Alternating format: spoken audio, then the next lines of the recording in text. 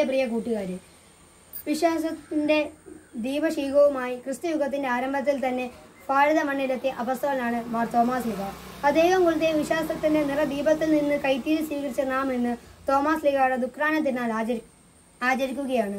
Zero Malabar സഭ വിശ്വാസ നമ്മെ സംബന്ധിച്ചിടത്തോളം ഇത് സന്തോഷത്തിന്റെ അഭിമാനത്തിന്റെ പുണ്യദിനമാണ്.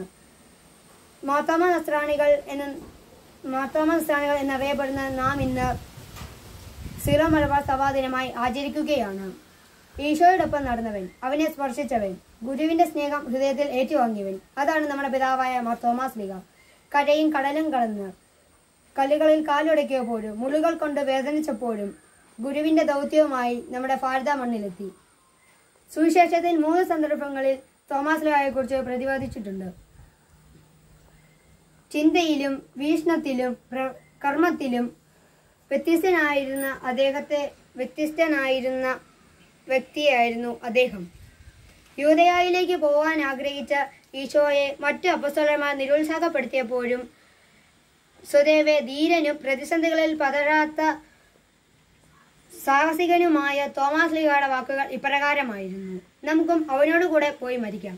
അതുപോലെ വരിയും സത്യവും ജീവനും താനാവുന്നു എന്ന് ലോകത്തിനോട് ഈശോ പകർന്നു കൊടുത്തപ്പോഴും തോമസ് ലീഗ ഒരു നിമിത്തമാകുമായിരുന്നു. ഇതുപോലെ ഉദരനായ ഈശോയെ മറ്റു ശിഷ്യർക്കൊപ്പം കാണാൻ സാധിക്കാത്തതിലുള്ള മനോദുഃഖം സ്ലിഹായെ ഏറെ നമ്പരപ്പെടുത്തിയിരുന്നു. ഗുരുവിനെ നേരിൽ കണ്ട് തൊട്ടറിയുവാൻ കൊതിച്ച തോമസ് ലീഗയുടെ സ്നേഹശാഠ്യത്തിന് ഈശോനാഥൻ പ്രത്യേക പരിഗണന നൽകി. തന്റെ ഗുരുവിന്റെ മുറിപാടുകൾ നേരിൽ കണ്ട തോമസ് ലീഗ ഇപ്രകാരം പറഞ്ഞു എന്റെ കർത്താവെ എന്റെ ദൈവമേ ഈ വാക്കുകൾ എ ഡി എഴുപത്തിരണ്ടിൽ ചിൻ മൈലാപൂരിലെ ചിന്നമണിയിൽ വെച്ച് നിറവേറ്റി. പ്രിയപ്പെട്ടവരെ തോമാസ് ലീഗ തോമാസ് ലീഗ നമു നമ്മെ സൂക്ഷിക്കാൻ ഏൽപ്പിച്ചിരിക്കുന്ന വിശ്വാസത്തിന്റെ നിക്ഷേപം നൂറ് മേനി പുറപ്പെടു ഫലം പുറപ്പെടുവിക്കുന്നതിനായി നമുക്ക് ഒന്നു ചേർന്ന് പ്രയത്നിക്കാം. വിശ്വാസത്തിന് വേണ്ടി നഷ്ടം സഹിക്കുകയും ത്യാഗം ഏറ്റെടുക്കുവാനും നമുക്ക് തയ്യാറാകാം.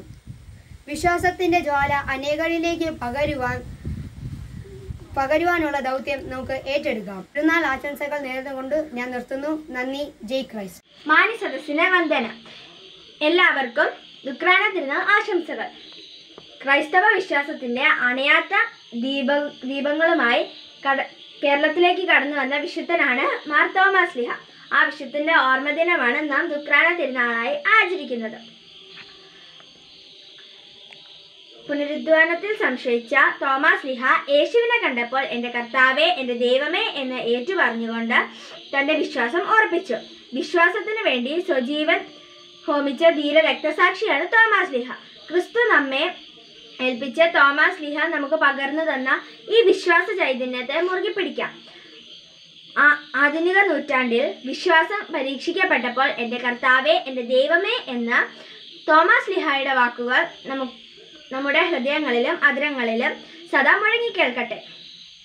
അതിനായി നമുക്ക് വിശുദ്ധനോട് മധ്യസ്ഥം അപേക്ഷിക്കാം. ആ വിശുദ്ധൻ നമുക്ക് പകർന്നു തന്ന ആ വിശ്വാസ ചൈതന്യത്തെ മുറുകി പിടിച്ചുകൊണ്ട് മുന്നേറാൻ നമുക്ക് ഓരോരുത്തർക്കും കഴിയട്ടെ എന്ന് ആസ- ആശംസിച്ചുകൊണ്ട് ഞാൻ നിർത്തുന്നു. നന്ദി നമസ്കാരം. ജയ് ക്രൈസ്റ്റ്. മാന്യ സദസ്സിന്റെ വന്ദനം ദുഃഖാന തിരുനാൾ ആചരിക്കുകയാണല്ലോ. അത് സംബന്ധിച്ച് ഒന്ന് രണ്ട് കാര്യങ്ങൾ നിങ്ങളുമായി പങ്കുവയ്ക്കാനാണ് ഞാൻ ഇവിടെ വന്നിരിക്കുന്നത്.